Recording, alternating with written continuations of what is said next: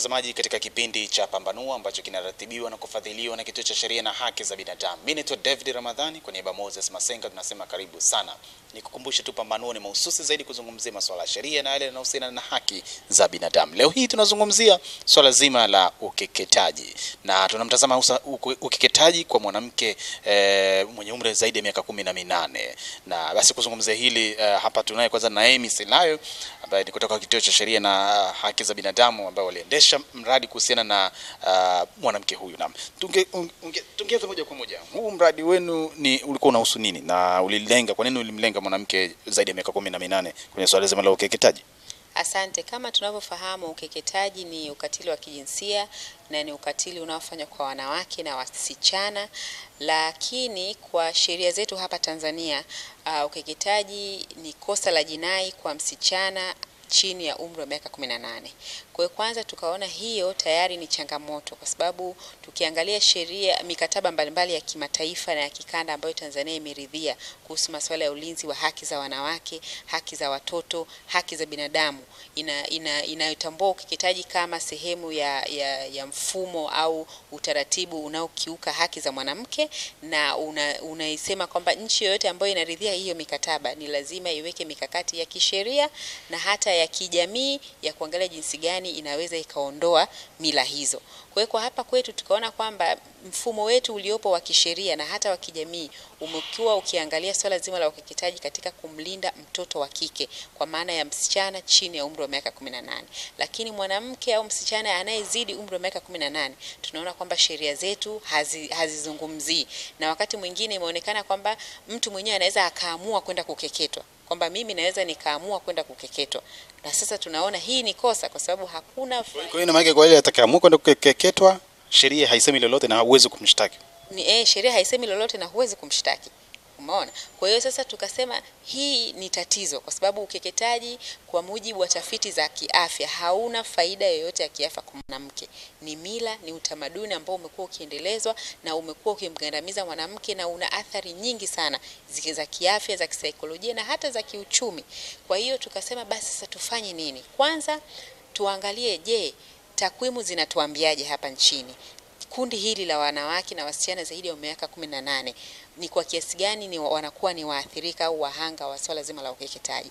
Tukaona basi tufanye utafiti mdogo, kutokana sasa na kuwa na fedha ndogo, hatukuweza kwenda mikoa yote ambayo ina, ina, inajihusisha na masuala ya ukeketaji. Kwa hiyo tukachagua mikoa mitatu ikiwemo mkoa wa Manyara, mkoa wa Mara na mkoa wa Singida. Na mikoa yote hii kwa tafiti zinazofanywa ni mikoa ambayo ina viwango vya juu vya ukeketaji. Tunaona mkoa wa Manyara ndio unaongoza Tanzania kwa ukeketaji zaidi ya asilimia 58.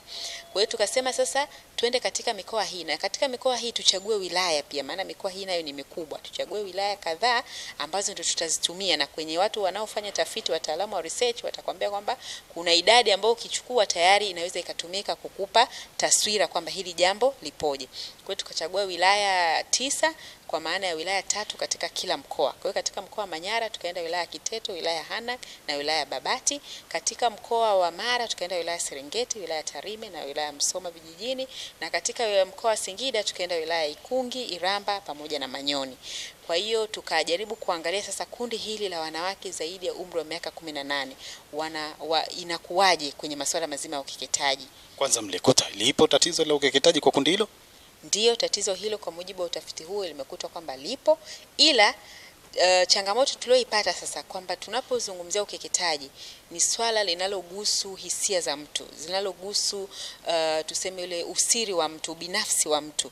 Kwa hiyo wanawake wengi kwanza walikuwa hawako tayari kuzungumzia hilo, na hii ni changamoto, na tulitambua hilo hata kabla ya kufanya utafiti kwamba tunaenda kuulizia mada ambayo ni inagusa mtu. Je, yuko tayari kuzungumza? Lakini tukasema sasa lazima uwe na taarifa, ili hata unapokuja kusema sasa tunahitaji kufanya maboresho ya sheria, tunahitaji kuangalia mbinu gani tunaziweka katika kuelimisha jamii, lazima uonyeshe ni kwa kiasi gani hilo tatizo lipo katika ngazi ya jamii.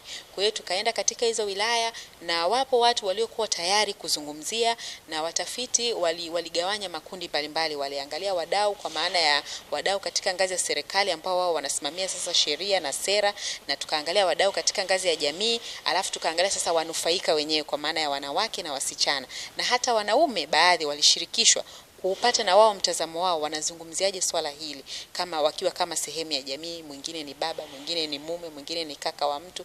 Kwa hiyo ndio uh, tafiti huo ulijikita hapo, ili tuweze kuangalia ni kwa kiasi gani sasa tunashawishi maboresho ya sheria ili sheria ikataze ukeketaji bila kuweka ki, uh, limit ya umri na ikataze hata mtu kusema mimi nimejitolea kwenda kuke, yani mimi nimeamua kukeketwa. Sheria ikataze hizo, kama ambavyo kuna ma, uh, vitu vingine ambavyo vinakataza kisheria. Ukitaka leo kujiua kwa mujibu wa sheria ni kosa, uwezi ukasema mimi niliamua. Ukifeli, usipofariki sheria itachukua mkondo wake. Wewe tunatufikia hata kwenye ukeketaji kwamba mwanamke asiseme mimi niliamua kwenda kukeketa, kwa sababu tunafahamu ni nguvu zingine za, za mfumo uliopo ndio unamfanya aamue afikie mahali aone kwamba nimeamua, lakini akikaa binafsi, ukimuuliza kweli umeamua ukeketwe, sio kweli. Ni wengi kwa sababu ya ndoa, jamii sijui namuonaje na nini. Kwa mwisho wa siku anaona hakuna option nyingine, labda nikikeketwa sasa itanisaidia. Na wakati mwingine tumekutana hata na wanawake ambao wameolewa katika jamii zinazokeketwa na wakatengwa kwa sababu walikataa kukeketwa, wanakuwa hawashiriki katika masuala ya kijamii, hawaruhusi kwenda kuchota maji katika uh, nani maeneo ya, ya, ya jamii husika ambao wanachota maji, hawaruhusi kwenda kushiriki sherehe zozote kwa sababu tu hajakeketwa, anaonekana yeye sio sehemu ya ile jamii. Kwa mwanamke kama huyo ata, atafanyaje mwisho wa siku? Ataamua kukeketwa, na ndio ukikutana naye atakwambia niliamua, lakini sio kwamba aliamua, ni kwamba kuna mazingira ambayo yamemfanya akawa hakuna njia mbadala. Ripoti hii yenu sasa, wapi mnatarajia kuiwasilisha ili kuleta mabadiliko haya? Ripoti hii itakapokamilika itakuwa ni mali ya jamii nzima ya Watanzania kwa sababu ndio tutakayotumia kama chombo kwanza cha kufanya kazi katika ngazi ya jamii. Pamoja na kwamba tunazungumzia maboresho ya sheria, lakini tukumbuke kwamba ukeketaji ni swala la mila, ni swala la tamaduni.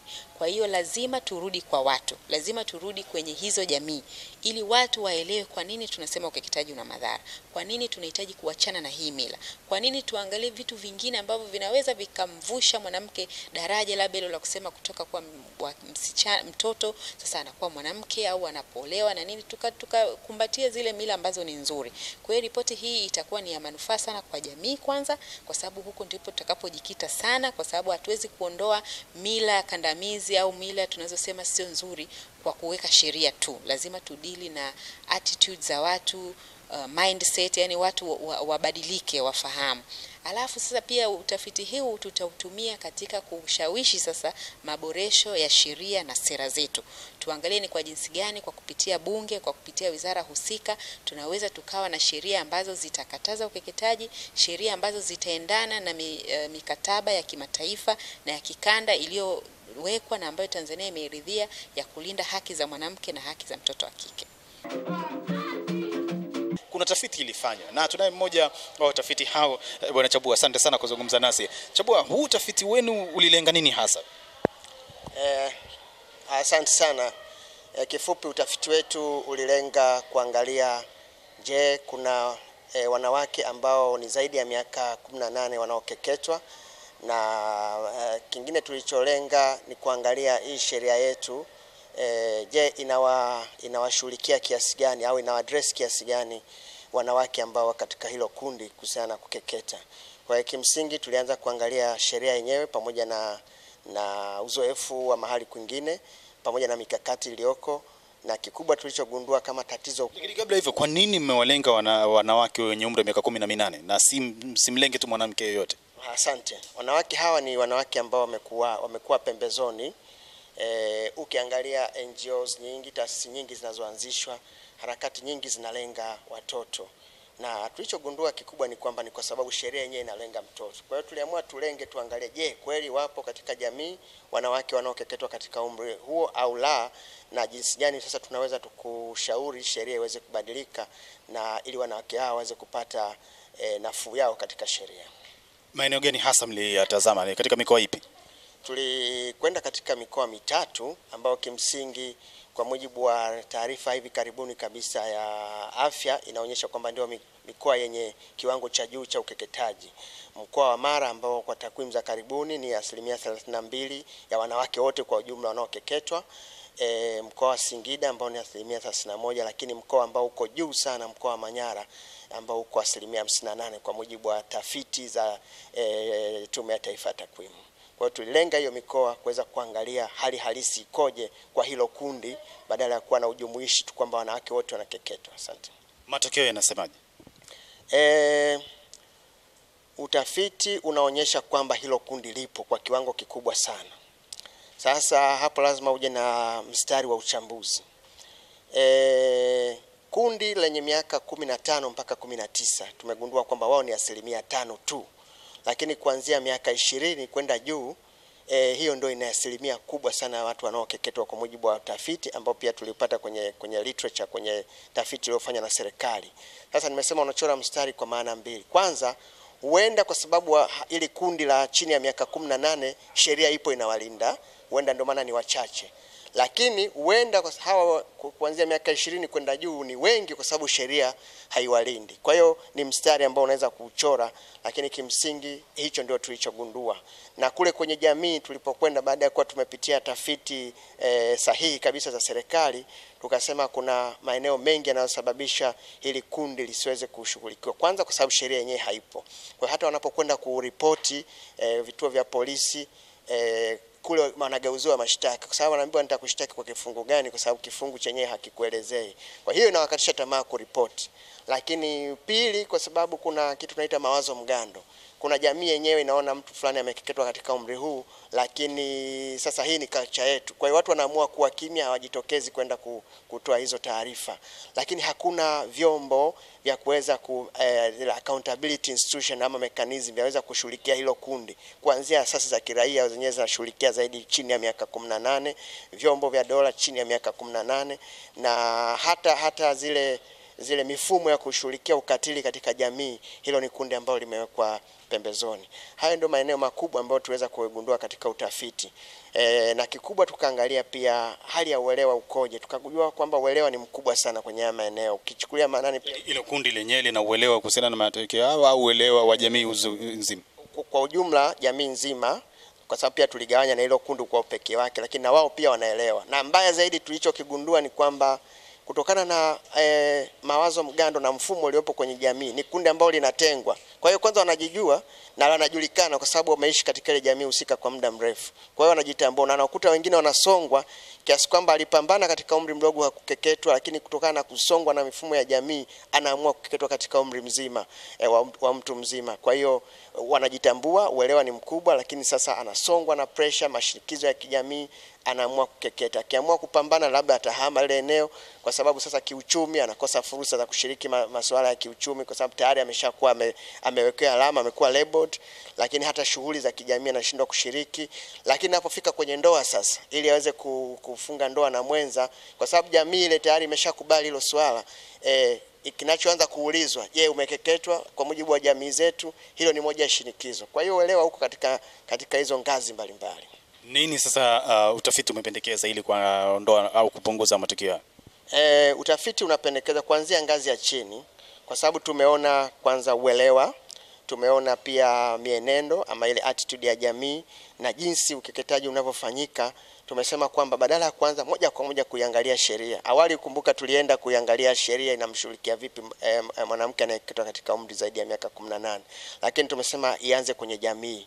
Moja, eh, kuvunja ukimya kama kunatokea kundi anayokeketwa katika umri huu aweze kuvunja ukimya na kuweza kutoa taarifa. Mbili, vyombo vyote vinavyohusika viweze kuchukua taarifa za hili kundi na makundi mengine, baada ya kuchukua taarifa za mtoto peke yake, basi ziweze kuchukua taarifa pia za makundi yote kwa mnyambuliko wa kitakwimu. Lakini pia ilikuwe na mfumo wa wajibikaji katika jamii e, wale wote wenye mamlaka, lakini na jamii nzima waweze kuona kwamba hili ni tatizo. Ukizungumza ukeketaji, ni ukeketaji ambao unagusa aina zote za ukatili. Huyu mtu anaathirika kisaikolojia, anaathirika kimwili, anaathirika hata kwenye viungo vyake, lakini anaathirika hata kiuchumi. Kama nilivyosema, anatengwa kwenye fursa za kiuchumi, hata vikoba, kupata mikopo na nini, na jamii husika. Kwa hiyo tuanze kuangalia kwenye jamii, alafu tuweze ndio tuanze sasa kuangalia sheria yetu sasa iweze kufanyiwa marekebisho ili hawa watu waweze kupata nafuu katika sheria. Viongozi wa dini uh, viongozi wa kimila katika maeneo husika na wenyewe mmewatazamaje uh, katika hili? Maana naona mchango mkubwa kwa kubadilisha mtizamo. Uh, kulikuwa na mawazo yanayogawanyika kwa sababu kama nilivyozungumza, ni kitu ambacho kinahusu tabia ya mtu ya ndani. unaweza ukakutana na kiongozi wa dini upande fulani ana taswira ya kupinga kwa sababu ya nafasi yake katika dini, lakini kwa sababu yuko kwenye jamii na mila husika na amekulia kwayo, na hata sio tu, hata baadhi ya viongozi wa serikali waliweza kusema ah, hii mila yetu hamwezi kuigusa. Kwa hiyo kulikuwa na mgawanyiko wa kimawazo, lakini kwa ujumla e, kama ukiangalia e, tathmini ya jumla, viongozi wa dini wako mstari wa mbele. Penye ukinzani mkubwa kidogo ilikuwa ni kwenye viongozi wa mila, lakini tumeona kwamba mkabala ama approach ya, ya, ya kuliendea swala sasa hivi imebadilika miongoni mwa wengi. Badala ya kuingia tu na kusema muache, watu wanakaa nao, wanaweza kuwaelimisha na wengi wanaanza kukubali kwamba hii kweli si tabia ambayo inaweza ika, ikaendelea kuwepo kwenye jamii yetu, na ndio maana pamoja na juhudi nyingi ambazo zimefanyika, takwimu zinaonyesha ukeketaji sasa unapungua kutoka utafiti uliofanywa na serikali elfu mbili na kumi ilikuwa asilimia kumi na nane ikaja asilimia kumi na tano na sasa hivi tunaambiwa ni asilimia kumi. Kwa hiyo juhudi zimesaidia viongozi wa dini, viongozi wa kimila ambao tunaita ni wakala wa mabadiliko ama agent of change, ambao wamekubali kuona kwamba hiki kitu hakistahili kuwepo kwenye jamii yetu, wanabadilika na wengi wanakwenda kushawishi wenzao na wanabadilika. Ukiangalia Serengeti sasa hivi tayari kuna kuna umoja umeundwa kati ya viongozi wa dini, viongozi wa mila, ngariba wenyewe ambao walikuwa na, wanategemea ile kama ndo chanzo chao cha, cha, cha kipato, nao wameanza kuelewa, wanabadilika sasa. Asante.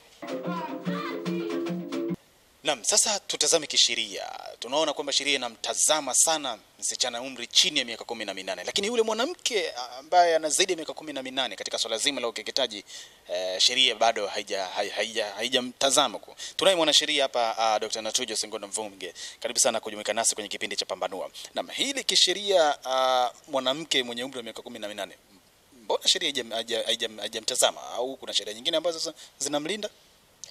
Ah, katika utafiti huu tuliofanya kisheria tuliangalia sheria mbalimbali, tuliangalia sheria za kimataifa, mikataba ya kimataifa ambayo yote sisi kama Tanzania ni wadau.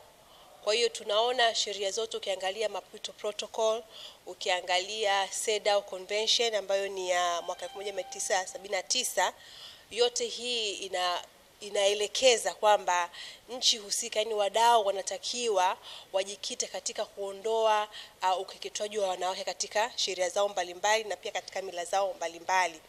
Tukija pia kuangalia kisheria, tukiangalia nchi zetu jirani, kwa mfano tukiangalia Kenya, wao katiba yao tangia elfu mbili na kumi imeenda mbali zaidi kuingiza kipengele cha cha kukataza ukeketwaji kwa wanawake ndani ya katiba yao, lakini pia wana sheria maalum ya elfu mbili na kumi na moja ambayo ina, ina, ina, ina, inaongelea swala la ukeketwaji wa wanawake na hii sheria yao inajumuisha kuanzia watoto wadogo mpaka wanawake ambao wame wamepita wame, wame, miaka kumi na nane. Kwa hiyo iko inclusive tunasema, na pia tukiangalia Uganda pia wao wana sheria ambayo inaongelea kabisa ukeketaji kwa wanawake ambayo pia iko inclusive, na hiyo na hiyo sheria yao inaenda mbali na kusema kwamba eh, ina, unasema ina, ina criminalize uh, kitu chochote kinacho kinachoweza kutokea baada ya mtu kukeketwa, yani ile aggravated